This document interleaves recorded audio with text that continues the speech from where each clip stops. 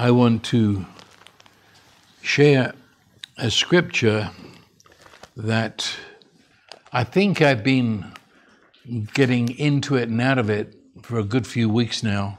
At least Cheryl assures me of that. Um, and um, so today I want to put both feet into it and hear what it is saying. And in the background, and very much in the background, because we'll come to this verse later on, a couple of weeks, but um, in, in two or three, four or five times in the Old Testament, you'll read of worshiping God in the beauty of holiness, praising God, giving thanks to God in the beauty of holiness. And what I, essentially what I'm saying is that worship isn't something that begins and ends on Sunday morning. Many times it doesn't even begin on Sunday morning. Um, much of what goes under the name of praise and worship in many churches is just religious entertainment. Yeah. It isn't worship. Uh, worship begins on Monday morning. Worship is, I say, not the kind of thing that happens on Sunday. Worship is how you do your job. Worship is what kind of a relationship you have with people. Uh, essentially, worship is knowing who He is, knowing who I am, and the dance begins. and it opens up in our work, in our play, in our sadness, in our joys, in our troubles. That's all what worship is about. Now, I say I'm not going to talk much about that that's the sort of canvas. We will, in a couple of weeks, talk a lot more about that. But um, I want to take an Old Testament scripture, and with that in mind, the what is worship, to look at these characters. They show up in the story, and you know the story because I, I know I've dipped in here many times. But it, it's in Numbers 13, and I will um, read it in verse 30. Then Caleb quieted the people before Moses and said, We should by all means go up and take possession of the land, for we will surely overcome it. But the men who had gone up with him said, We are not able to go up against the people, for they are too strong for us. So they gave out to the sons of Israel a bad report of the land, which they had spied out saying, The land through which we have gone, in spying it out, is a land that devours its inhabitants. And all the people whom we saw in it are men of great size. We even saw the Nephilim, and we became like grasshoppers in our own sight, and so we were in their sight. Okay.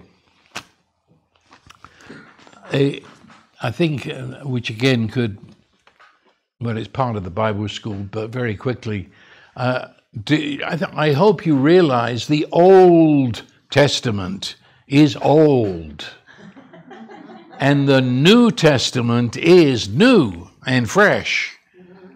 There's a great tragedy I find in many places. There's very little preaching on the New Testament people seem to gravitate to the old because they, in their experience, haven't gotten beyond it. And, we've got to understand what the old is doing. You, find the subject matter in the Old Testament is not the subject matter of the New. Uh, it's very physical uh, in the Old Testament, very physical. And so you, you have a physical temple, you have physical lambs and goats and bulls and physical bloodshed. You find the whole emphasis is on the land, the physical land, and the inheritance was you got a piece of that land to call your own. It's all very physical. And, you, you wonder why aren't we going beyond that? Everything we read there, the faith is all centered on the physical um, and is all centered on the if you do big if. And so there's magnificent blessings that are spoken of in the Old Testament, but it's if, if you do. Uh, you're allowed to come and press your nose against the glass uh, the shop where God sells his glories, but you, you've got to have enough cash of faith and repentance to get in there. Um, I could keep going, but I think you get the drift. When you come into the New Testament, well, it's new. It is so new, it says that the old is ready to be torn up and thrown away. No one ever preaches on that, but it's there in Hebrews. What, what is going on? In the New Testament, we arrive finally in Jesus at what the Old Testament had been striving for and looking for, though they couldn't get beyond the physical. But now Jesus has come and taken the whole thing into its deepest spiritual meaning to the point where he sheds the last blood, there's no more. He is the new temple, and we in him become the invisible temple. He is the one who leads us into a real land for which there are no dimensions and no geography and no tour guide. You are in the land which is the very Spirit of God. So when we come to these stories in the Old Testament, we've got to see what it's saying because it's important. There are great lessons to be learned in those physical stories. But never to forget, we're not there anymore. We are in the New Testament, and therefore we're carried to where those stories were going, but in the Old Testament they never arrived. Does that make sense? Okay, that's an hour of the Bible school right there. Um, and, and so we come to the great focus of the Old Testament that, that they are delivered from Egypt. They, they see his signs and his wonders manna in the wilderness, water out of the rock. And they come finally to Mount Sinai. And there they are given the law, but they are also introduced to themselves that they have come out of it. They're slaves no more. They are the beloved of God. And as the beloved of God, they are the recipients of his greatest um, focus, inheritance, which is going to be the well, prototype of something that is yet to come. And that was the land the land. They were told in um, Abraham that they're coming to receive this land. Now at Sinai, the land is just down the road, and they're, they're heading there as fast as they possibly can. And, and so um, the promises of God are now given to the final word before we go into this that God has promised ever since Abraham. Um, and in that land, they are going to be the people who play out living in the love of God. And they're going to be the people who tell the rest of the world Messiah is coming. And in that land, Messiah will come and lift us into the land that could never decay. Well, they've, they've come to the land, they've got the promise. And I, I want you to try and feel this because I am talking about us. They've got promises that are, well, even in the New Testament it says that it's beyond imagination. You've, never thought it, you've never seen it. Well, we, we get there in the New Testament, but in the Old, I'm sitting across the table from you and I, I'm saying, now here is a land, and the people there have run out of loving kindness. They, have got to be removed because they are now uh, a poisonous uh, cell in, the whole uh, of God's creation. And, and he said, Now you go into that land, and every promise says, I've given it to you, I'm with you. It's just walk in and take it. They, they come out of slavery, remember. And as they hear that, they realize also God made the promise, their faith has now got to be involved in it. Their faith, especially in the Old Testament, was a response to the faithfulness of God. They didn't have to work the faith up. They didn't have to try and have faith. They had to keep their eyes in the, the faithfulness of God, the goodness of God, the love of God, what truthfulness of God. And when you see the faithfulness of God, the fact He cannot lie, then that is giving to me faith. I, I participate in the very faith of God.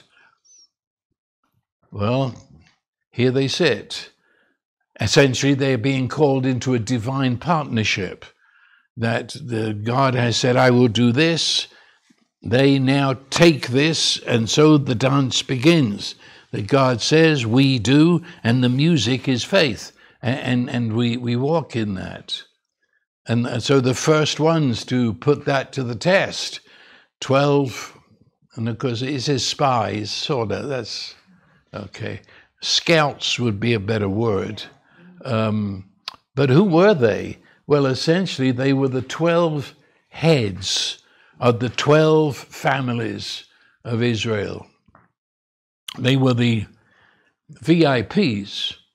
They, they were not merely the most recognized, the most powerful of men, but also they were supposed to be, anyway, the people who represented Israel, who knew the promises, who knew the covenant, trusted, and they go now to look at the inheritance and bring back a report on it. They're supposed to be the people who trust in everything God has said. They were at Sinai, and as the leaders of the families of Israel, these were the ones who said, they spoke for their people and said, We'll keep the law. We're, we're given, and, uh, you know, they were saying the Amen. You realize three million people didn't answer, it, was their representatives. These 12 men, they were right under Moses. They were the leaders of the people. They were chosen because they were seen to be men of God. So they're leaving the camp and they're going to cross the border into the land of Canaan and see what's there and bring back the reports that will excite the people to let's go take it and receive it. And they left, I mean, they had covenant promises with which they left the camp. Have you ever read them? There. I know they're deep inside those books that everybody reads just before they go to sleep. It's like Leviticus, I'm sure you read that every day, and um, Exodus, even up to a point. Uh, we read half of Exodus, and after that uh, is, you know. listen to this one Exodus 23. God said to them, This is what they got just as they're going to go into the land. This, this is the promise is given. Okay, now off you go. But carry this with you. Read it every day. This is what is happening. He says, God says, I will be an enemy to your enemies. I will oppose those who oppose you. In fact, I'll wipe them out. I will send my terror ahead of you and throw into confusion every nation you encounter. I will make all your enemies turn their backs and run for their lives. That's not a bad promise as you walk into the land. Uh, try Leviticus. I will grant peace in the land. You will lie down and no one will make you afraid. I'll remove savage beasts from the land. The sword will not pass through the country. I'll pursue your enemies. They will fall by the sword before you. Listen to this one. Five of you will chase a hundred. A hundred of you will chase ten thousand and your enemies will fall by the sword before you. I will put my dwelling place among you. I will walk among you, be your God. You will be my people. I brought you out of Egypt, listen, so that you would be no longer slaves to the Egyptians. I broke the bars of your yoke. I enabled you to walk with your heads held high. I'm not a slave anymore. Not bad. If you're one of the 12 and you're about to go and look at the promised land, this is what he tells you as you're walking in. Now, if you follow where they were, they, they went into the land at a place called Kadesh Barnea. And if you know that Hebron, you might have heard of these places. Well, at Hebron was the tomb of Abraham. That means that the first thing they meet as they cross the border, coming towards Hebron, they see the tomb of Abraham. Now, that should have excited them because their entire existence was based on God swearing to Abraham he would have a son. And that son would have a son, have a son, until there would be descendants like the sand of the seashore.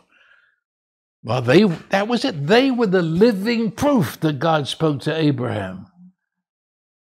So when they look at the tomb of Abraham, it should have connected them. But there were other people who lived in Hebron. Not many. Not many. They, they were three families essentially.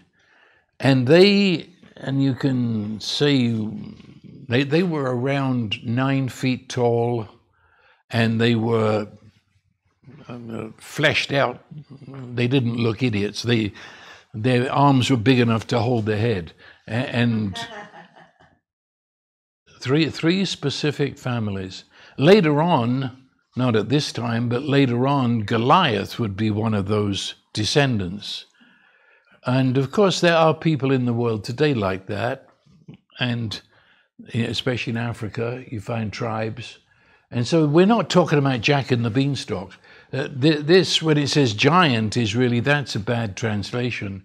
The word in the Hebrew means bullies. Um, bullies. Uh, it, it, means that they were tyrants uh, and they swaggered around and used their weight and their size to terrify people. But there were only three families. That's not much. Because the three families had sons, and so there was, you know, if you're in the area, you're going to meet them on the street sooner or later. But I see when they came back and reported what they'd seen, to the people, they said, We saw them all over the land. The land was full of these. Oh, come on. Three families. But as they come into the land, that's, that's what mesmerizes them. They're, they're caught, hypnotized by the sight of these creatures. Because the Israeli people were, were kind of short. I mean, not silly short, but they were kind of short. And um, so they're looking up at these creatures, and that's all they saw. That's all three families and their kids. Uh, they exaggerated and gave the impression the land is full of giants. What, what's happened to God and His promises? I guess it was in their back pocket somewhere, but at this point, they're not, they don't even, their, their mind has become filled with a vision of the giants, the tyrants, and, and that's all they see. They see nothing else. So they don't even mention God in their report. Not they come back and they say, the giants, the giants, the giants. This is a land that devours its people. We're dead men if we go in there. No mention of God. They've, they've forgotten all the promises of God. God said he would chase these chaps. He, he said, I'll handle them. But they forgot that. The tomb of Abraham now has become just an ancient monument of something that's said at the beginning of the nation, but is, irrelevant today. They looked at, careful now, they looked at themselves in, and compared themselves to the physical size and the expertise that went with their size and they felt so small, and I'm getting smaller. By the minute, I'm getting smaller. And they said, We're grasshoppers. When we look at those people, we realize what we should have known before. We're nobodies. Who ever put these silly ideas in our head? We're, we're grasshoppers. And because we've seen that, and we know that's true, well, they must see it too. And they must know that's true, and they're looking at us right now as if we're grasshoppers. And they use very significantly. They said, We are grasshoppers in our sight. Very important. They, they looked at themselves, and in their sight, the, the logical conclusion of looking at themselves was, We're grasshoppers. And if I see myself that way, they said, In their sight, we're grasshoppers too. We, we project. I see myself and I project it to you, and I believe you see me the same. Grasshoppers, insects he said, I've delivered you from slavery, so you'll hold your head high and walk like a man. They said, We're insects.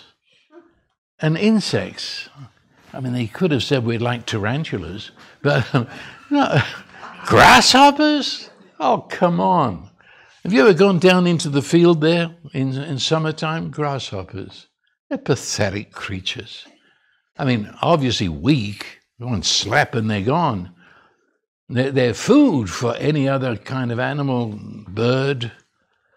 Um, so easily killed, they don't, you just step on them. I probably kill a hundred just walking across the pasture. And all they do is that chirping, that's the best they can do. They don't own any territory. Now, you know, we've got Mountain Lion down there, and that, that's her territory. We are. We're in the territory of that lion, and she comes around every time to check her territory. But grasshoppers? The positive isn't a territory for a grasshopper, it just happens to be there. And if you want to get really detailed, I suppose trespassing, you know. I mean, grasshopper. And if there's a strong wind, it just blows them. They, they, Got, they can't anchor themselves to anything. In fact, not only are they fragile, but I don't think they ever know where they're going because they jump, you know. And it seems they're jumping to find out where they're going. Right. They, they don't say, I'm going to go down to the river, you know. Right. No, they just jump. And where they land, it and it might be on you. And they look up at you. Have you seen they look up and I'm terribly sorry. I, I, I didn't yeah. mean to do that, you know grasshopper. In their own sight. Think it, think it. This is the Holy Spirit speaking to me and to you. Think it. In, in my own sight. That's the key to it. This is what I see about me. In my imagination, I'm no more than an insect. It, when, when someone says that or thinks that, that, that shows a, a deep shame. When, when, when I would think of myself as an insect, then I'm, I'm in deep shame. It's a self loathing. I'm, I'm, just worthless. it's disgust. It, if, if I come here as an insect, I, I want to hide. I don't want anybody to see me. I, I pretend. I pretend I'm a locust. I, it, it's, you know, I pretend I'm bigger than what I know I'm not. And that turned around that they blamed God for bringing them into this land. This was God's idea. He, he's been putting this fantasy in our head for generations. Now we're here, and what is it? He brought us here to kill us. They, in their own sight, they were grasshoppers, but then they acted and believed that in God's sight, they're worthless insects. I'm insignificant. In fact, I'm annoying. I annoy God. I'm insignificant. I'm worthless. So he'll at least acknowledge me if I keep on telling him I'm no good. He says, you know, find your place, boy. And we no, notice what the, we are grasshoppers. Very, very definitive. And they believed that was so obvious that even their enemies saw it. And they believed their enemies when they just despise us the same way as we despise ourselves. It's amazing to me, it really is, The enemy didn't say that.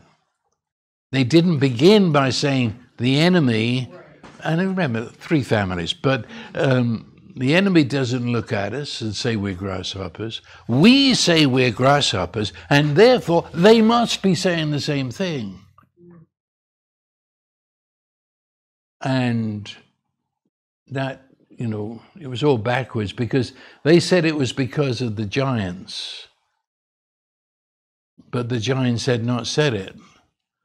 They didn't mock the smallness of the Israelite. All this took place inside the head and imagination of those 12 men, well, 10 men. And it was all based on a lie. Absolute lie. Because the truth was, specifically these guys in Hebron, they were trembling when they looked at the Israelites. I mean, the Israelites were just coming into the land. They might have looked like businessmen coming up from Egypt. They might look like tourists. I mean, they didn't come in with any weapons or they're just there to see what's there. But the giants knew who they were. And when they knew who they were, it says that they trembled. The giants knew what the Lord had said to them and believed it. Okay. 40 years later, when they've been through the wilderness going nowhere, and their children now have grown, and their children are coming into the land. As you remember, Joshua sends two spies. Maybe we can handle two. Ten got us into trouble. Um, so he sends two. Do you remember the story? God bless your nod. Um, it, they, they went into Jericho because they've come from another angle now. Down here is Kadesh, and now Jericho's up here. And they go in. Only king of Jericho recognizes them, and he says, "Get them and kill them." So they go to the house of Rahab, which seems to be some kind of brothel. It was I don't, it's not clear, but she seems to be some kind of madam or prostitute. Uh, and so they go there, and she takes them and hides them on the rooftop. And when the soldiers come, she sends them off in another direction. Then she comes up to the rooftop and she says, Well, it says, before the spies lay down for the night, she went up on the roof and she said to them, I know you. This is 40 years after what I just said about the giants. 40 years later, she said, I know that the Lord, Yahweh, God of Israel, has given this land to you. And I want you to know that a great fear of you has fallen on us so that all who live in this country are melting in fear because of you. See, we have heard how Yahweh dried up the waters of the Red Sea. We've heard that. You couldn't keep that a secret. You walked through the Red Sea when you came out of Egypt. We all know that. And when we heard of it, our hearts melted. And everyone's courage failed because of you. For your God, Yahweh, your God, is God in heaven above and on the earth below. We don't stand a chance. Now, that was 40 years. For 40 years. That, when, when did the Canaanites hear about the Red Sea? Well, it's only an hour away. They would have heard immediately. It means that when these 12 guys came into the land and the people recognized an Israelite, they immediately were terrified, lost all their courage, searched for a white flag to say, you know. And so, uh, do you see the stupidity of this? They are saying we're insects, we're nobodies. These people, they're, they're so powerful, we don't stand a chance. They'll eat us. To go into the land is like standing in the mouth of an alligator. Come on, we, we. But the people they're scared of are scared of them. Can you imagine they wipe the cold sweat from their brow when the, they looked out at the Israelites and they've turned around and they're going off into the desert? Wow, I don't know what's the matter with them. We can take a breath again. Yeah. See, this sense of insignificance, this sense I'm not nothing but an insect, that was baggage. It was baggage they carried deep inside of them. I'm a slave. I always will be a slave. My father was a slave. My grandfather was a slave. My great grandfather was a. I am a slave. I'm unimportant. I'm insignificant. I'm a worthless piece of nothing. I'm a trespasser in this land.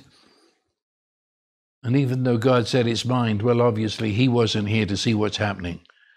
It's irrelevant to us what He said now. Just look at these people. They couldn't receive it. When God said, I've delivered you, you're no longer a slave, hold your head high, walk like a man. They said, No, we're insects. You and I will never rise beyond who you know and see yourself to be. I don't care your potential, I don't care your resources. You will never rise beyond what you perceive yourself to be. If you believe you're an insect, you will never rise above being an insect. I don't care what people say or do or pray for you or give you reason, you will never rise above what you see yourself to be. And that is, whenever I speak, it is with prayer that the eyes of your understanding will be opened, that you might see and know the hope to which you've been called, you might know the exceeding greatness of his power that raised Jesus from the dead that is now in you. You're no insect, you're bigger than the cosmos. You see, back to that canvas on which I'm painting, that's where worship takes place. I don't care what these 10 men did in the tabernacle. I don't care how much they praised God and said all the religious praise words when they when the rubber hits the road and they see what God says and they see what's here and they are mesmerized by what was it they're, they're swallowed up by what's here that's their worship worship means to stand in awe they stood in awe of the bullies and the tyrants and forgot there was a god and that's worship I as i say you, you can sing how great thou art until you're blue in the face it's how it works on Monday morning. That's where your worship is on Monday morning. When you speak of what is, you speak of where you are in terms of who He is and who He has made you.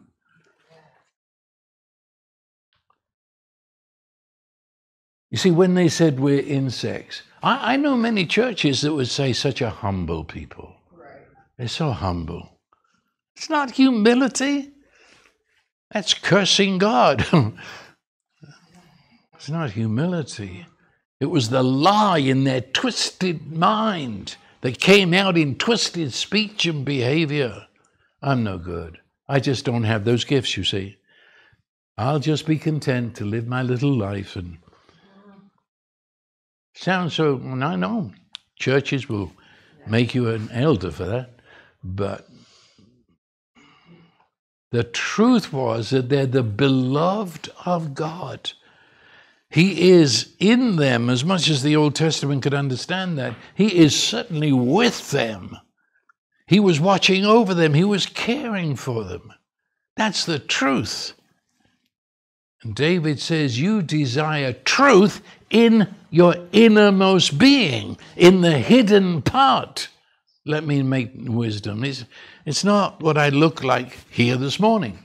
It's, it's not, it, it's, in, it's in the hidden part where truth is, and I know who He is, I know who I am, and I hurl that against the by, uh, tyrants. Yes. Psalm 15 says, Speak truth in your heart, not here, because here might have a, a big empty gap behind it. The truth that they imagined was nothing but an empty lie. They, they, their identity, who am I? They made it up. It was based on chance happenings. So when this happened, then this is who I am. Do, do you understand that? Um, something happens to a circumstance, and in the circumstance you fail, or whatever it was. Well, then you give that as your identification. You say, I am a failure. No, it was a failure, but that doesn't make you a failure. Do, do you see what? And they they stumble upon a situation that they hadn't been expecting, and they immediately make their reaction to it, their feelings, as their identity. And they'll carry that on. They carried it on and magnified it, exaggerated it, yeah. until the whole of three million people wasted a, an entire lifetime. Mm. That they judged themselves in the light of the situations. And, and worse yet, I suppose you could say it was what they, they saw themselves as victims of God. Um, arose from this bitterness they had toward God.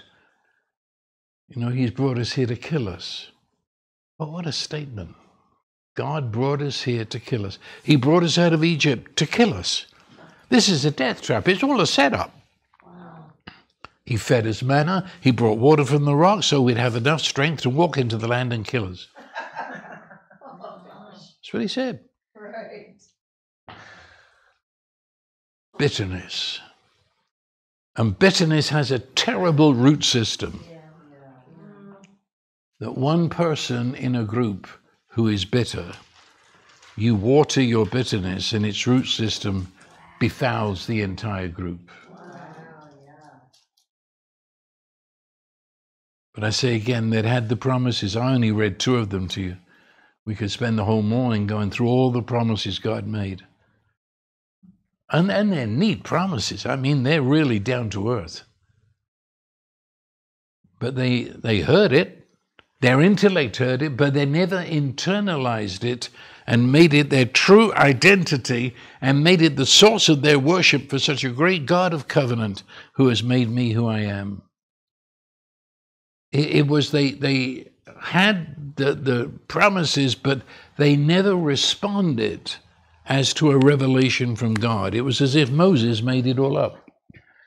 But Moses couldn't make up that stuff and they never responded to it as a revelation. Rather, they said it's ancient history. You know, yeah, we're, we're the promised, we're the chosen people to bring Messiah into the world.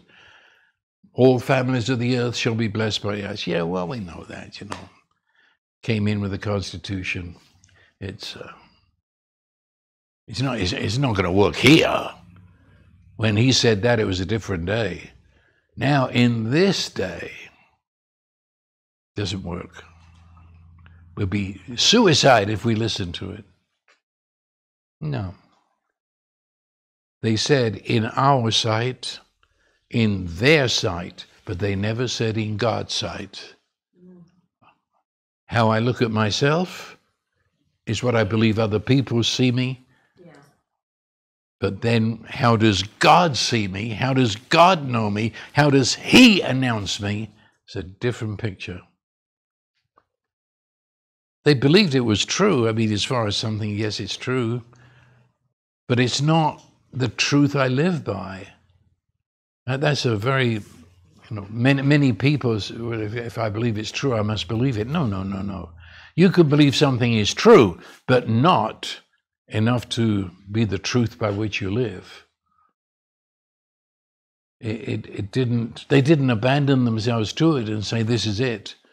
There is nothing else. They, they didn't let it govern their imagination or their thinking. They rather subjected what he had said to their logic and their common sense. Well, nobody in their right mind would, would believe that, especially when you're, you're in great danger of being crushed by the big toe of an enemy. I no, you don't. You don't accept it. You see, it's it's very um, very beautiful to listen to, but you don't go and stake your life on it. Um, they they said this is the promise, but now what I see myself to be. Now that promise came through the lens of I'm a grasshopper. So therefore the promise became impossible.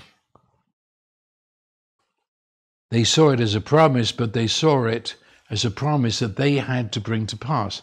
That is, that's stupid, you know. If I make a promise to you, you don't have to do it. You follow me? You know? I, I'm going to take you to New York. That doesn't mean you've got to walk to New York to please me. No, if I said I'll take you to, no, I'll take you to New York. It's a promise means someone else is paying for it. Someone else thought it up to give to you because they loved you. And now they give it to you. And if I respond to that by saying, How much did you pay for that? And I really think you've overstepped the mark. This is, I can't use this. No, that, you see, it makes it also stupid. That, they, they were making their identity in comparison to the physical body size and mental strength of these people. They, they, they lived at the tree of I am not, rather than at the tree of I am. And the I am himself is my I am. They were contradicting God. So, little grasshopper, I've got to teach you a lesson. You don't jump where you've never been before. Get yourself into trouble, little grasshopper. Set your experience in concrete as the destination, the destiny. It's no, that's dangerous talk. You don't do that. And if you should happen to jump too high, well, that's not of God. You've got to keep, remember, you're just a grasshopper. You're going nowhere.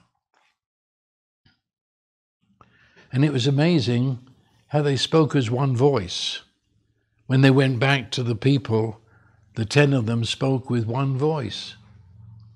So it means when somebody in the ten said we're grasshoppers, the others went along with it, formed an opinion of themselves through other people's fear. Yeah, yeah. Have you noticed that? Right. Right. Listen to CNN and you'll believe what they believe. Mm-hmm. It's, it's the way humans are mob mentality. And so we gather together, and there are thousands gathered together this very morning, and, they're sharing with us that they're insects, that, that we're grasshoppers. Uh, and they all believe it, not that they thought it through, but everybody's saying it, so we go along with it. And then when they came back to the people, they took their mob mind, and three million people caught it and said, Yes, we're grasshoppers. And they're fiercely protective of their identity. When they came back and Caleb and Joshua said, That's not true. Well, they they wanted to stone them. Right. I had to go with Moses. It was a very dangerous time because once it's amazing. You you tell someone they're a good person, they'll almost rise up and punch you. I'm not a good person. I'm not, I'm no good. No. It's When we do not know our identity in Christ, if you don't know it, if you don't know it through the Holy Spirit teaching you who you are, then you're going to make it up. And you're going to make it up based on your feelings that you have, based on events that happen, and whether you're a success or a failure in your own mind. You're going to base it on the thoughts that pass through your head and say, if I have these thoughts, I must be. Yeah. And so you go, you're making up your identity. That, that passage, that is fundamental passage buried away there in the book of James, chapter 1. Prove yourself doers of the word, not merely hearers who delude themselves. For if anyone is a hearer of the word and not a doer, he is like a man who looks at his natural face in a mirror. For once he has looked at himself and gone away, he's immediately forgotten what kind of person he is. That's very true. I looked in the mirror four times this morning to brush the same hair. You know, it's.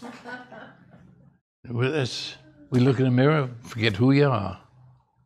But one who looks intently at the perfect law, the law of liberty. The law of liberty is I've taken you from Egypt so that you might hold your head high. You're a man and forget Egypt, forget slavery. That's the law of liberty. And abides by it, not having become a forgetful hearer, but an effectual doer. That man is blessed.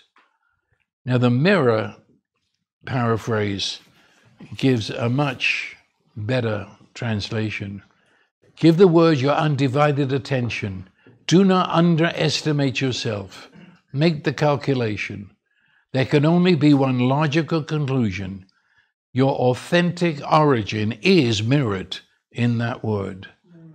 The difference between a mere spectator and a participator is that both of them hear the same voice and perceive in its message the face of their own genesis.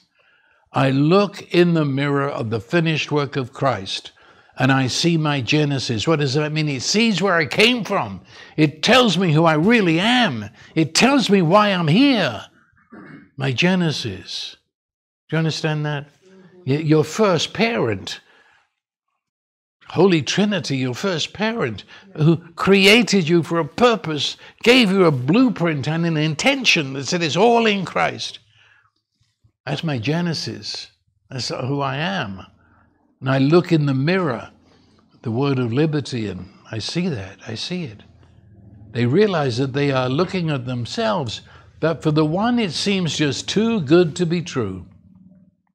This person departs back to the old way of seeing himself and immediately forgets what manner of person he really is, never giving another thought to the one he saw there in the mirror.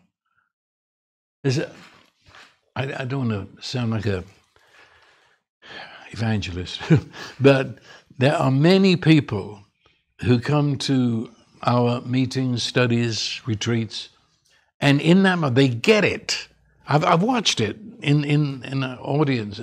Like the lights turn on, almost like fire out of their eyes. They got it.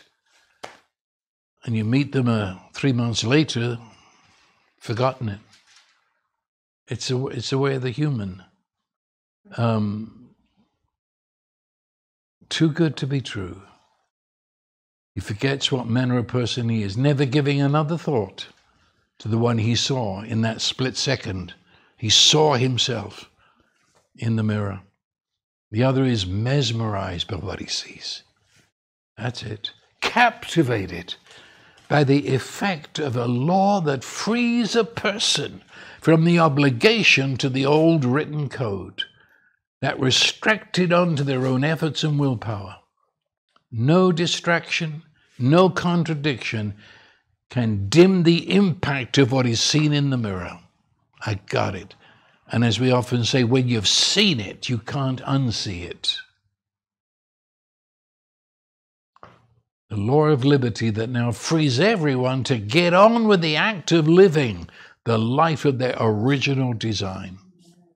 And every one of those, the 12 that went into the land, had seen themselves in the mirror. Read it, Exodus 19. There it plain is. What God thinks of them, says about them, the text that we read, they'd seen it, they'd got it. Or as soon as they walk across the border and they see something that doesn't seemingly agree with that, they lose it all. Except for two of them. And so they they didn't see anything that they had seen in the mirror. Well, they hadn't seen. They allowed themselves to be distracted. And the result was they saw themselves inferior, very inferior. You tread on me, inferior. Rather than the largeness the gift. And of course, I've said it, but let me now really say it. Caleb and Joshua had seen everything that the ten had seen. Twelve people saw one thing. Ten made what they saw and felt their identity. And two stood firm and said, That's according to what he has said, this is peanuts. We can do it. And that's how Jesus acted in the temptation. Satan said, Jesus responds, It is written. That is, I'm not even going to have a conversation about what you're saying. It's written, that's enough. That's what Caleb and Joshua did. So the the approach of the ten was everything they saw was really an illusion. It was a wrong interpretation by their human senses. It was a deceptive appearance. Right. Yes. It was just an impression. They were yes. mesmerized by a fantasy. That they identified themselves by figments of their imagination. They were actually suffering a mental disorder. And that is one way of looking at sin. It's a mental disorder. It's a mind shroud, a mind, a mind, the way you think, shrouded in darkness, dementia, as we've said many times before, and all wrapped up in fear. Now, God did not participate in the illusion. Um, I know I said this a couple of weeks ago. Um, it's a lie, so really it's nothing. Because all lies are nothing. Right, yeah. Wow. And we have, every so often, someone is arrested because they were so expert at telling a lie that they affected thousands of people. And the lie then took on substance. It opened offices, it employed secretaries, and there were, it's on the stock market. And, and someone comes along and just punctures the lie, and the whole lot collapses because it wasn't really there. Do you understand that? Yeah. yeah. Um, what is built on a lie, the moment you really extract the lie, everything that found its food from the lie is, is no more. Well, the Holy Trinity does not deal with lies because Trinity is love, Trinity is truth, yeah. Trinity is light. Lies need darkness. So, in that sense, he doesn't see it, but he doesn't see it as we do. We see it as substance, we see it as real, we see it as truth. God doesn't see it as truth, He doesn't see it as substance. He doesn't believe it as we believe it. And so, in that sense, he doesn't see it. But he sees what we see, but he doesn't believe what we believe about it. Right. And so he sees the bullies and the tyrants and says, I'll make them run away. You'll never see them again. What was the next item on the agenda? You know, it's, I know you see them and I see them, but don't get caught into it. They were, these two of them were resting in God's word. They remembered the word spoken. That is, they were not ancient history. What God said to Abraham is present to this moment as if he just said it. What was said there at Mount Sinai a few weeks ago is present in this moment. If he says five can chase a hundred, well, that's what it means, doesn't it? It's real. It's now. This is what he was talking about. Everything is now present. Right here in the middle of all these lies and darkness that is invading us, God is present with us. And He's not affected by it. He doesn't see it like we do. And as I already said, even the giants were not affected. They, they saw through the illusion that the Israelites were under and were ready to surrender. So, yeah, I say it again. The ten had seen themselves in the mirror. And, but so had the two. And the two, mm-hmm. hey, when they saw themselves, they saw it. It was a revelation that latched onto their heart. And what happened, they responded to that revelation. It's what we call faith. If God be for us, who then can be against us? End of discussion. The Lord is for me. I will not fear what man can do to me. What about Isaiah 41? Do not fear, I am with you, says the Lord. Do not anxiously look around you. There's another place he said, You're scared when a leaf blows in the wind. But he says, I'm with you. So don't anxiously look. I'm your God. Isaiah 43, I have called you by name. And so when Caleb presented to the people what he'd seen, he doesn't even mention the giants. Isn't that fascinating? It's as if, uh, were, we the, were we in the same place? You know, his ten people saying, The land is full of these gigantic people. Caleb said, um, It was just people there. Um, watch your mouth. It's amazing what we say that arises from a twisted lie. Faith is a response to revelation. Behavior follows faith. It's not a struggle to get faith. Nah, if you're struggling to get faith, you're way on the wrong track. Don't even think about faith. You, you are overwhelmed by the truth of who God is and what He said. You're overwhelmed at the revelation the Holy Spirit has given you, and you'll find faith rises in your heart. That's the way it is. And, and you see, we don't change ourselves or circumstances by, by trying to put a faith formula inside of us by constant repetition. No. I have faith. I have faith. I have faith. I have. No, you don't. You're a robot. It's, it's not a, you know.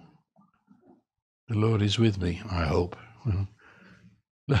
No, you've seen it. You don't, it just pours out of you. That, that's worship, you see. Worship is when the chips are down, when the rubber hits the road, and you find yourself speaking out of your identity. Mm-hmm. And that, that's worship. Yes. And we're not our feelings, you see. We have many feelings. People are condemned by that, by many feelings. Well, you're not your feelings. Mm-hmm. Didn't I say this two weeks ago? I, I, I feel.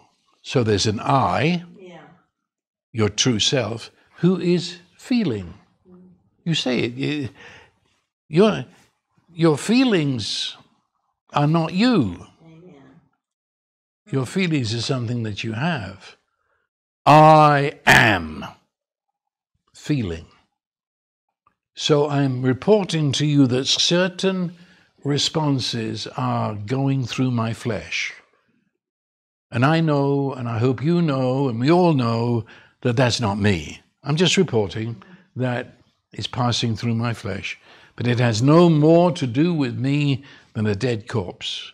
It's a feeling. We look beyond our feelings to see how Father sees us. So, kill the grasshopper. Or should I say, the grasshopper was killed Amen. in the resurrection of Jesus. Yes. Amen. Well, I could take off from that. Because Jesus actually became us in our grasshopper mind. It's reported in Psalm 22 I am a worm and no man. He came right down into our lie, our, lie mind. He got inside it. He became us. And then he took that us to death in him. And when he rose from the dead, there were no worms and no grasshoppers, but one who held his head high and walked like he is, the Son of Man, Son of God. And I'm in him, and you're in him, and I ain't no grasshopper. So, amen. Father, thank you. Thank you that we report this morning with great joy that we are the sons and the daughters of God. That we hold our heads high because that's where they belong. And we crush the enemy under our feet.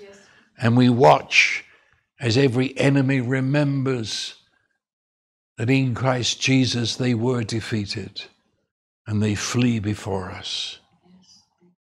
We give you thanks for such a salvation and declaring together that is the way it is. Amen and amen.